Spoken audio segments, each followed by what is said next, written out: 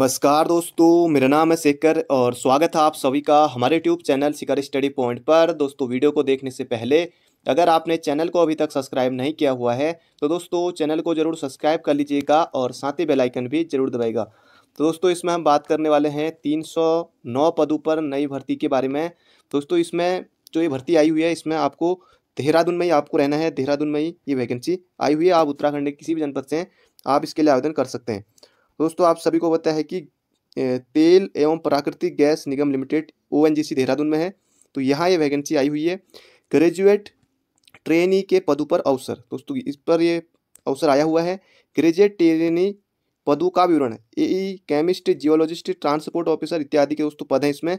पूरी आपको अभी विज्ञप्ति दिखाने वाला हूँ और वो आपको हमारे टेलीग्राम चैनल पर मिल जाएगी। डिस्क्रिप्शन में लिंक है। पदों की संख्या की बात करें दोस्तों 309 पदों पर ये वैकेंसी निकली हुई है। आयु सीमा पद एवं वर्ग के अनुसार अट्ठाईस तीस, इकतीस जुलाई दो हज़ार इक्कीस के अनुसार गणना होगी। पर इसमें दोस्तों, यहाँ पर आपकी फ़ीस लगने वाली है। तीन सौ फ़ीस आपकी इसमें लगने वाली है। तो दोस्तों, ये है पूरी विज्ञप्ति। Oil and natural gas corporation limited Dehradun. तो देहरादून में ही आपको रहना है इसमें। अगर आपका इसमें हो जाता है तो पदों की संख्या काफ़ी ज़्यादा है, तीन सौ नौ पद हैं। बाकी दोस्तों, कुछ महत्वपूर्ण बिंदु पर ही मैं इस पर आपके लिए बात करूँगा। बाकी ये पूरी पी आप आराम से देख लीजिएगा, ये आपको मिल जाएगा हमारे टेलीग्राम चैनल पर। स्टार्ट डेट दोस्तों, जो फॉर्म भरने इसकी स्टार्ट हो गए हैं, वो ग्यारह अक्टूबर से हो गए हैं। अंतिम तिथि दोस्तों, इसके लिए एक नवंबर 2011 इसके लिए रखी गई है। तो ये हो गया दोस्तों, एज के बारे में, बाकी तीन सौ रुपये फ़ीस, ये हो गया है। और बाकी अब एज की यहाँ पर बात कर लेते हैं। Age limit E W S unreserved के लिए। यहाँ पर एज लिमिट ऑल पोस्ट यहाँ पर तीस है। O W O B C के लिए तैतीस है। एस सी एस टी के लिए पैंतीस है। बाकी और के लिए यहाँ पर इतनी एज ये दी हुई है। तो एज हमने जान ली दोस्तों पोस्टों की संख्या यहाँ पर है तीन सौ नौ। अब किसमें कितना है, वो अब हम देख लेते हैं। तो ए e के लिए दोस्तों यहाँ पर जो पोस्ट हैं, बाकी यहाँ पर जो क्वालिफिकेशन है graduate degree in mechanical engineering with minimum साठ प्रतिशत मार्क्स आपके होने चाहिए। GATE subject mechanical engineer M E बाकी पोस्टों की संख्या छः है, बाकी कितने कितने यहाँ पर दिया हुआ है।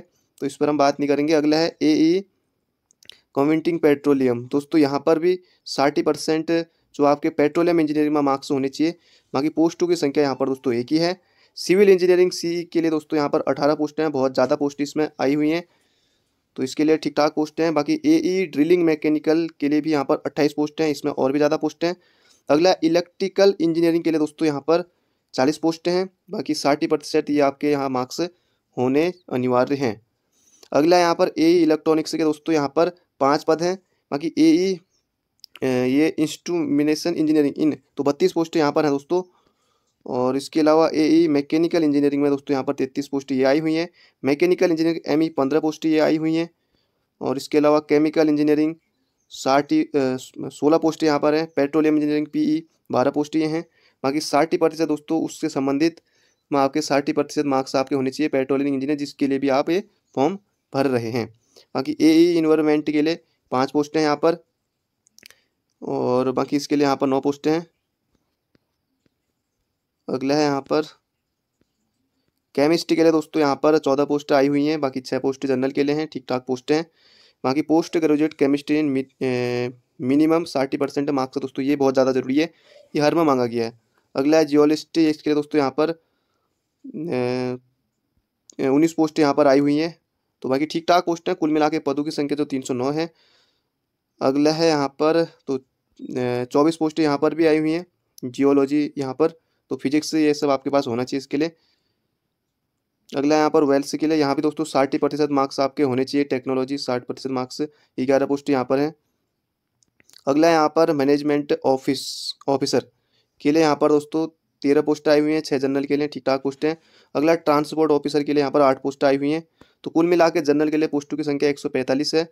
बाकी कुल मिला के जो पोस्टों की संख्या की बात करें वो तीन सौ नौ हमारी पहुँच जाती है। बाकी मैकेनिकल इंजीनियर की दोस्तों यहाँ पर जो पोस्टें हैं यहाँ पर आठ पोस्ट आई हुई हैं। बाकी यहाँ पर साठ ही प्रतिशत दोस्तों इससे संबंधित। जिसके लिए भी लगभग साठ प्रतिशत तो सब में महँगाई है। बाकी आप इसको आराम से देख लीजिएगा। कुछ महत्वपूर्ण बिंदु को भी मैं यहाँ पर आपको बताऊँगा। बाकी यहाँ पर ये ये भी दिया हुआ है कि साठ प्रतिशत मार्क्स आपके होने चाहिए। Qualification twenty five twenty marks of ये इतने आपके इसमें होने चाहिए। बाकी इंटर भी दोस्तों पंद्रह नंबर का होगा। बाकी टोटल यहाँ पर सौ नंबर का ये रहने वाला है।